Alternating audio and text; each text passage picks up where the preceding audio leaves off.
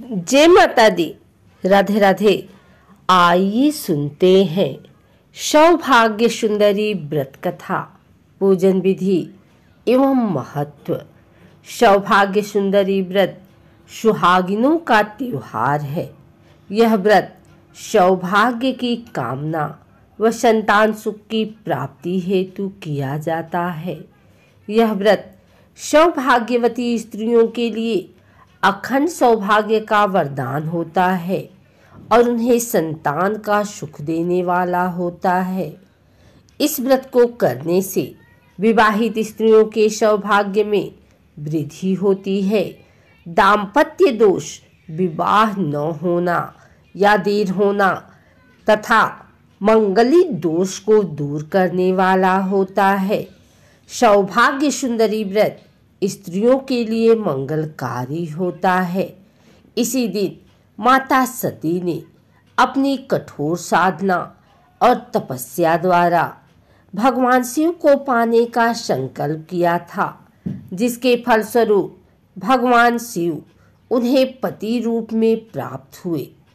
इसी प्रकार अपने पूर्व जन्म में पार्वती रूप में उन्होंने पुनः शिव को पति रूप में पाने के लिए घोर साधना की, कठिन परीक्षा की सफलता को पूर्ण कर लेने पर प्रभु ने उन्हें पुनः वरण किया और शिव पार्वती का विवाह संपन्न हुआ।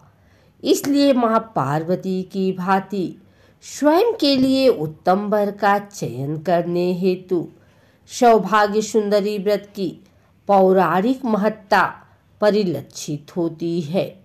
इस व्रत के प्रभाव से अखंड सौभाग्यवती होने का आशीर्वाद प्राप्त होता है। सौभाग्य सुंदरी व्रत की पूजा विधि। सौभाग्य सुंदरी के दिन सूर्योदय के समय उठकर सभी कामों से निवृत्त होकर स्नान करके साफ़ सुथरे वस्त्र धारण करने। अब भगवान शिव और माता पार्वती का मनन करके व्रत का संकल्प लें। एक चौकी में लाल या पीले रंग का वस्त्र बिछाकर माता पार्वती सहित शिव जी और गणेश जी की तस्वीर या मूर्ति स्थापित कर दें। माँ पार्वती को सोलह श्रृंगार अर्पित करें। इसके साथ ही सिंदूर, रोली फूल माला कुमकुम के साथ भोग लगाएँ और एक पान में दो सुपारी, दो लौंग, दो हरी इलायची, एक बतासा और एक रुपए रखकर चढ़ा दें। भगवान शिव को भी सफ़ेद रंग का चंदन, अक्षत, फूल, माला चढ़ाने के साथ भोग लगा दें। अंत में घी का दीपक और धूप जलाकर चालीसा मंत्रों का जाप करें। माँ पार्वती के इस मंत्र का जाप करें। ओम उमाए नमः। देवी देई उमे गौरी त्राहि माँ करुणानिधे। माम अपर्धा शांतव्य भक्ति मुक्ति प्रदा भव। अंत में आरती करके भूल चूक के लिए माफ़ी मांगने दिन भर व्रत रखें। माना जाता है कि इस दिन ब्राह्मणों को भोजन कराने से व्रत का कई गुना अधिक फल मिलता है। सौभाग्य सुंदरी व्रत का महत्व। इस दिन महिलाएँ मनोनुकूल पति और पुत्र प्राप्ति के लिए इस व्रत को करती हैं।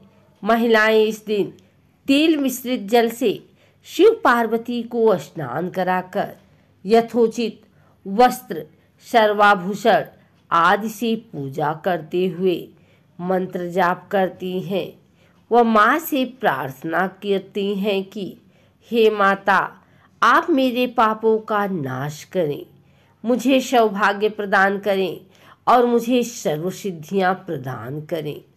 व्रत व्यक्ति के सुख सौभाग्य में वृद्धि करता है। सौभाग्य से जुड़े होने के कारण इस व्रत को विवाहित महिलाएँ और नवविवाहित महिलाएँ करती हैं।